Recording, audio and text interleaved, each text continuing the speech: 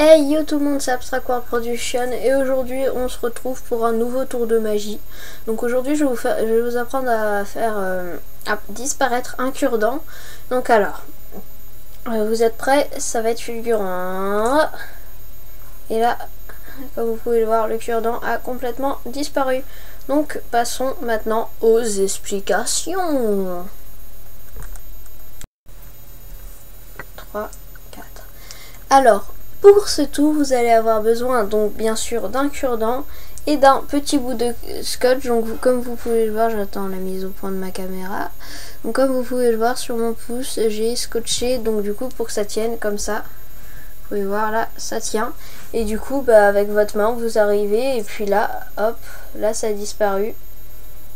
Du, de mon côté, ça fait comme ça, hop, et là, hop, et donc euh, c'est très visuel et euh, ça, ça marche bien.